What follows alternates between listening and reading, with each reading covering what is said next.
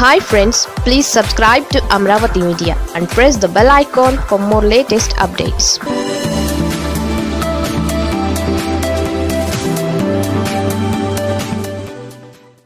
GVL versus Purandeswari AP బీజేపీలో variety fight AP బీజేపీలో ఈ మధ్యకాలంలో రోజుకు రోజుకో రభస నడుస్తోంది. బీజేపీ నాయకులు ఒకరిపై ఒకరు విమర్శలు సెటైర్లు వేసుకుంటున్నారు.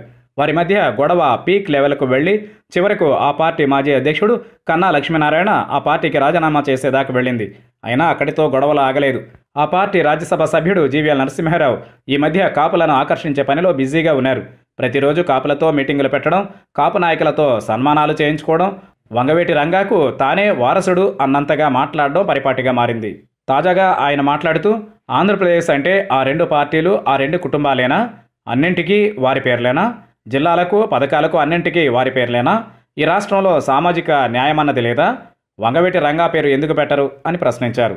అయితే ఆశ్చర్యంగా జీవీఎల్ మాటలపై వైసీపీ నుంచి కానీ టీడీపీ నుంచి కానీ ఎవరూ మాట్లాడక ముందే బీజేపీ నాయకురాలు పురంధేశ్వరి స్పందించారు. జీవీఎల్ మాట్లాడిన వీడియోను పోస్ట్ చేసి ఆ ఇద్దరు కాదు ఆ మహానుభావులు అని కామెంట్ చేసిన ఆమె వారిద్దరూ తెలుగు ప్రజల జీవితాల్లో సమూల మార్పులు తీసుకొచ్చారన్నారు.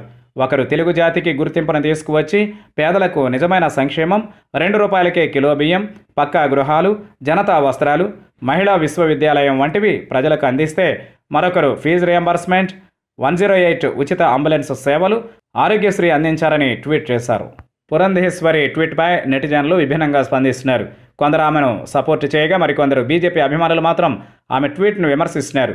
పార్టీ అంతర్గతంగా మాట్లాడుకోవాల్సిన విషయాలను బహిరంగంగా మాట్లాడతారా అని పలువురు బీజేపీ ఫ్యాన్స్ మండిపడుతున్నారు.